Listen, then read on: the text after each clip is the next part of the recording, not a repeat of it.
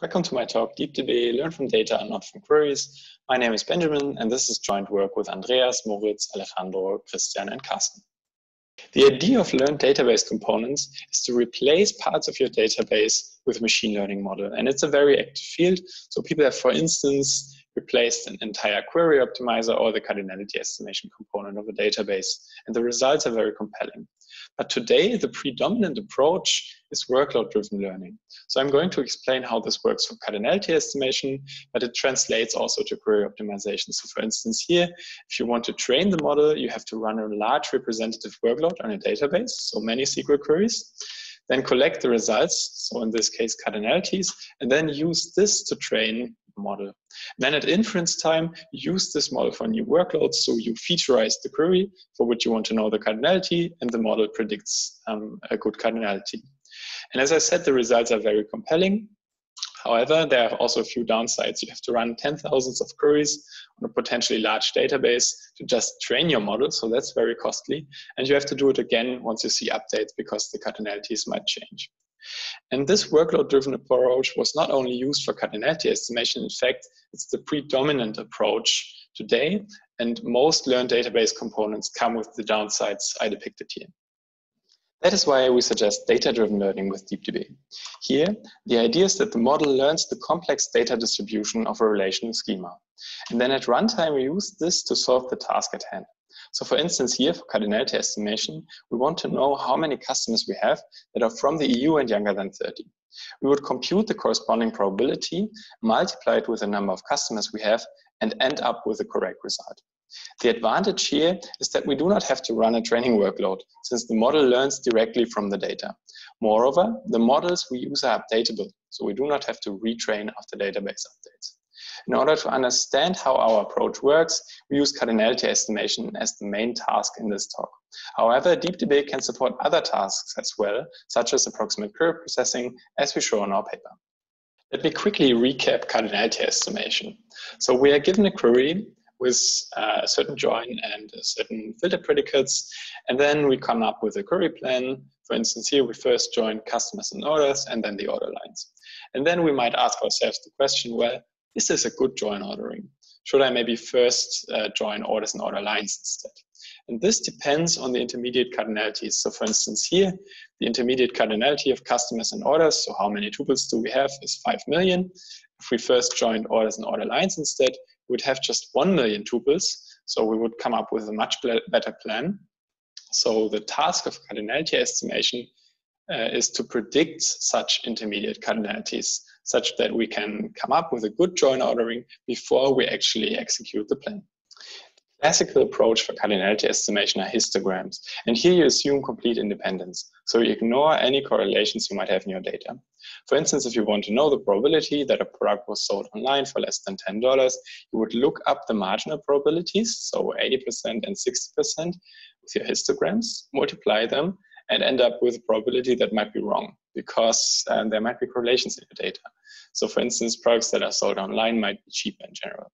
And this causes your cardinality estimates to be way off. And this in turn results in suboptimal join orderings. And that is why a workload-driven cardinality estimation was suggested. Here correlations are learned by a deep neural network, so we do not ignore them any longer. However, it also comes with the general downsides of workload-driven learning, motivating our approach. In contrast, DeepDB is entirely data-driven. This is enabled by two core contributions. First, we introduce a new class of models, namely relational sum product networks, which capture correlations present in the data. To scale to larger schemas, we do not just learn one RSPN for the entire database, but learn several models over preferably correlated joins of tables. Moreover, these models are completely updatable without any retraining. Second, we introduced probabilistic query compilation, which allows us to combine various models to answer a query. For instance, we can still estimate a cardinality query that spans several models as depicted on the right. These two ingredients allow DeepDB to learn the data distribution of a complex relational schema. In the remainder of the talk, I will first explain how relational sum product networks work, and then come to the scaling to a schema using probabilistic query compilation. Let me explain how relational sum product networks work in the single table case. The idea is to recursively create row clusters, introducing sum nodes, and split independent columns, which introduces product nodes in turn. For instance, if we have a customer sample, we want to learn a model for the probability distribution of age and region. We would first create the cluster of older European customers and the cluster for younger Asian customers. This introduces a sum node. Within those clusters, age and region are independent, and we can thus introduce a product node splitting both columns. For the remaining clusters, we can learn traditional histograms which make up the leaf nodes. We can now compute probabilities on arbitrary columns. For instance, if we want to know how many customers are European and younger than 30, we would push the conditions to the leaves, multiply product nodes, and compute the weighted sum at sum nodes. The models also support efficient updates. I will come to that later. First, I'm going to explain how this technique can be used for joins on a large schema. We can naively generalize the technique to joins. So for instance, with a schema of customers, orders, and order lines, we could learn a model for every possible join.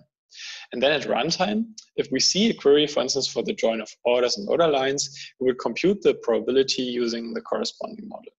However, this does not scale to large schemas, since we have to learn many different models, even for such a small schema that we've depicted here. In contrast, DeepDB scales to schemas efficiently. We first compute the pairwise correlation of the tables. And based on this information, we decide for which joins we learn models. So for instance, here we have learned a model over the join of customers and orders, since there's a large correlation between those two tables. In addition, we have learned a single order line model. At runtime, we can now query a partial relational sum product network or combine several of them. We coin this probabilistic query compilation. And of course, if we apply this technique recursively, we can handle arbitrary joins on the schema without knowing which joins are going to appear at runtime. As mentioned before, relational sum product networks also support efficient updates. The idea is to do a top-down pass of updated tuples through the model. When sum nodes are passed, the weights are adapted, and finally, the leaves are adapted as well. Let's assume we want to insert a customer from Europe into our previously learned model. Since the tuple belongs to the left row cluster of older European customers, we increase the left weight. At the product node, we split the tuple before we finally update the histogram.